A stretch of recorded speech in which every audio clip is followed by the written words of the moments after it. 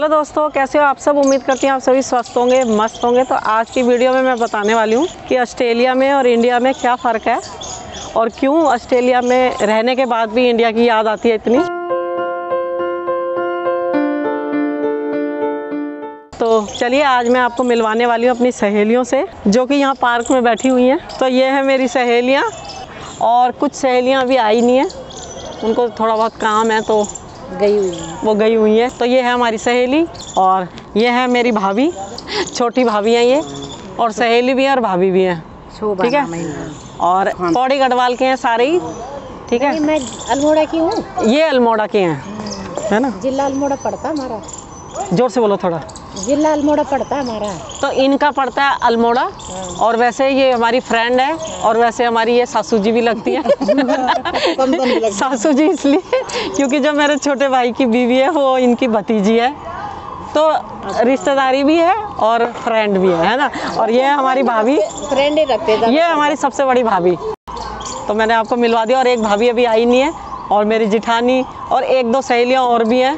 वो भी है, है नहीं। हाँ वो भी है नहीं। तो उनसे फिर मिलवाएँगे। वो आई नहीं अभी पार्क में बोला था मैंने आ जाना पार्क में लेकिन वो आई नहीं पता नहीं क्यों नहीं आई। अपनी वीडियो में बताने वाली हूँ कि ऑस्ट्रेलिया और इंडिया में फ़र्क क्या है। तो ऑस्ट्रेलिया में तो हम अकेले अकेले रहते थे जहाँ हम अभी गए हुए हैं। और यहाँ इंडिया में देखो यहाँ मेरी इतनी सारी सहेलियाँ हैं तो उन्हीं को मैं ज़्यादा मिस करती थी वहाँ पे क्योंकि वहाँ अकेले रहती थी। बच्चों से हम इतना खुल के कोई भी बातचीत नहीं कर सकते जितना हम अपनी सहेलियों से करते हैं। तो एक तो यही फ़र्क है। दूसरा देखो यहाँ पे क्या है घर इतने नज़दीक नज़दीक हैं घर से तुरंत पार्क में आ जाओ सहेलियों से मिल लो। यहाँ मार्केट इतना नज़दीक है आप फटाफट जाओ। अगर एक चीज़ भी ख़त्म हो गई तो फटाफट जाओ फटाफट मार्केट से ले आओ। वहाँ हमें गाड़ी से जाना पड़ता था कुछ सामान खरीदना है कुछ भी। तो अगर इमरजेंसी में हमारा सामान ख़त्म हो जाए तो हमें अगले दिन का इंतज़ार करना पड़ता है। या तो भाई सुबह मॉल खुलेंगे क्योंकि वहाँ मॉल भी जल्दी बंद हो जाते हैं। यहाँ देर रात तक खुले रहते हैं। तो काफ़ी चीज़ों का फ़र्क है। तो मेरी वीडियो इसी तरह देखते रहें। तो मैं आपको बताऊँगी अपनी वीडियो में कि आगे और क्या क्या फ़र्क है ऑस्ट्रेलिया में और इंडिया में। मेरा मेरा शशि नेगी। देखते हो क्या आप? देखती हूँ मैं भी। अच्छा हाँ, तो मैं भी देखती हूँ? देख मेरे को शक्ल याद आ गई अच्छा मैं भी देखती तो ये भी मेरी वीडियो देखते हैं। अच्छा। वहाँ से दिख नहीं रहा अच्छा अच्छा। देखती हूँ। हाँ मैं अच्छा। देखती हूँ। आराम से। तो लो हाँ, एक सब्सक्राइबर मिल गई ये भी मेरी वीडियो देखते हैं। नहीं मैं देखती हूँ। अच्छा। हाँ नाम याद नहीं है मेरे को मैं देखती ज़रूर हूँ। अच्छा। तो ये भी मेरी वीडियो देखते शक्ल से पता चला मेरे अच्छा। देखो मैं क्या नाम अच्छा हाँ। हाँ जो अच्छी लगती है वो देखते हैं। हाँ हाँ हाँ। माना ऑस्ट्रेलिया बहुत अमीर देश है वहाँ पे सुख सुविधाएँ भी बहुत हैं मगर कई ऐसी चीज़ें होती हैं जो ऑस्ट्रेलिया में देखने को ही नहीं मिलती। जैसे हमारे त्यौहार हैं होली है दिवाली है दशहरा है राखी है तो जो रौनक हमारे इंडिया में है वो दूसरे देशों में देखने को नहीं मिलते। मतलब मिलते तो हैं लेकिन वो मज़ा नहीं आता। उस तरह से नहीं होता जिस तरह से हमारे देश में होता है। यहाँ पे क्या है? हर घर में होली खेलते रहते हैं। हर घर में यहाँ पे दिवाली पे देखो पूरे घर सजे होते हैं। लोगों के कब से लग जाते हैं लोग दिवाली है भाई। दुकानें ऐसे सज जाती हैं लेकिन वहाँ ऐसा कुछ नहीं है। ये स, ये भी सब्सक्राइबर है ये भी मेरी बहुत वीडियो देखती हैं। ये भी इस टाइम शेयर कर रही हैं। एक हमारे यहाँ पे नाती भी खेल रहा है। क्या हुआ? खेलो खेलो। उसको शर्म आ रही होगी।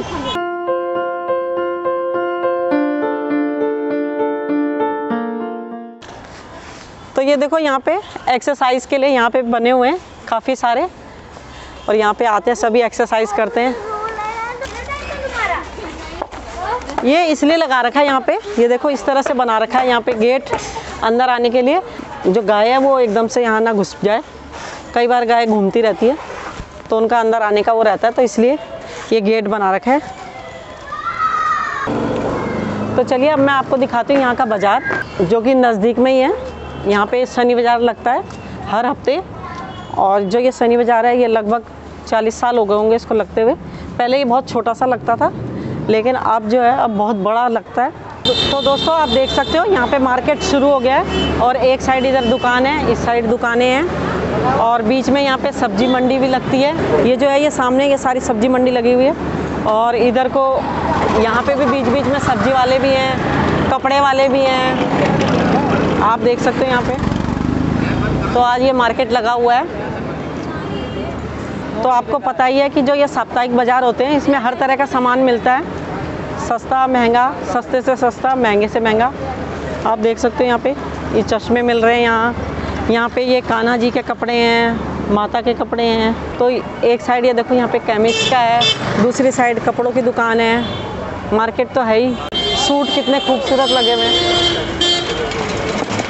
तो यहाँ पे तौलिए मिल रहे हैं, रुमाल हैं छोटे बच्चों के कपड़े हैं, टोपियाँ हैं, पजामे हैं। और अभी तो भीड़ थोड़ा कम है क्योंकि अभी मार्केट अभी शुरू ही हुआ है तो रात को बहुत भीड़ बढ़ जाती है। तो सही दाम पे मिल जाते हैं, एक दाम, सबको आराम।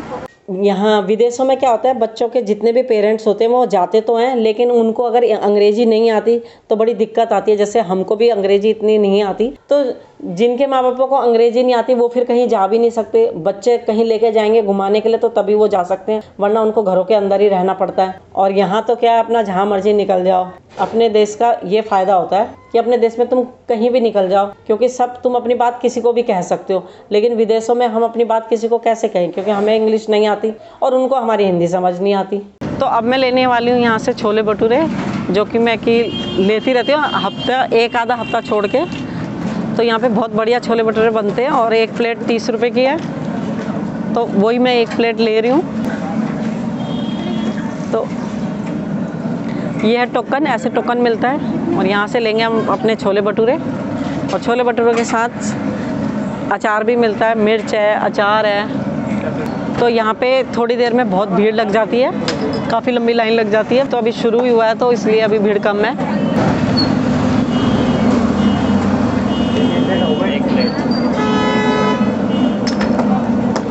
एक प्लेट ले जाने के लिए। तो आप देख सकते हो यहाँ पे कपड़े की थैली है। कपड़े की थैली में ये दे रहे हैं सब सामान। अच्छा तो वीडियो में आप दिखा दो। अच्छा लगा अच्छा अच्छा ज़्यादा तो एक अंकल जी भी आए छोले भटूरे लेने के लिए। कैसे लगते हैं आपको यहाँ के छोले भटूरे? बढ़िया लगता है। बढ़िया लगते हैं। तो अंकल जी कह रहे हैं, बहुत बढ़िया लगता है, आप हर हफ़्ते ले जाते हो? अच्छा हफ़्ते में एक आधा हफ़्ता छोड़ के। तो एक आधा हफ़्ता छोड़ के अंकल जी भी ले जाते हैं।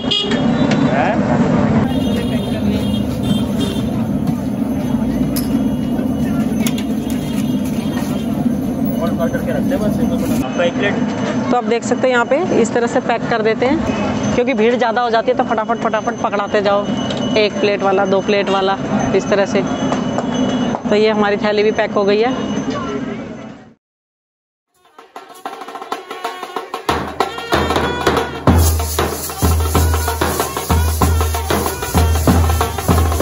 तो आज है दूसरा दिन, आज है संडे और आज देखो यहाँ पे खाटू श्याम की रथ यात्रा निकल रही है और कितना अच्छा लग रहा है। यही चीज़ें हैं जो हम विदेशों में मिस करते हैं। जो हमारे यहाँ का कल्चर है, जो यहाँ इंडिया का एक अलग ही तरह का माहौल है, वो बहुत याद आता है। तो चलिए, आप भी खाटू श्याम की यात्रा का मज़ा लीजिए। मतलब कि आप भी भगवान के दर्शन कीजिए, खाटू श्याम जी के।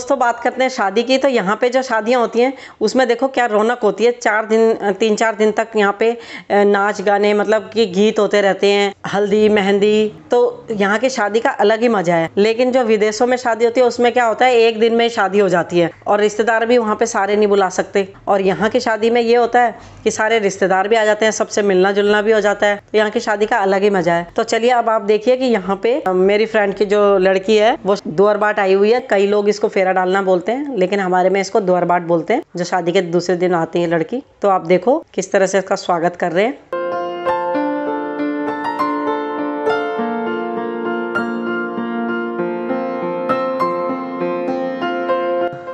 तो चलिए दोस्तों, मिलेंगे आपसे अगली वीडियो में। तब तक के लिए धन्यवाद। प्लीज़ मेरी वीडियो को देखते रहे, लाइक करें, शेयर करें, कमेंट्स करके बताएँ कैसी लगी। तो मिलेंगे आपसे अगली वीडियो में। और प्लीज़ अगर वीडियो पसंद आई हो तो लाइक ज़रूर कर देना और शेयर भी कर देना।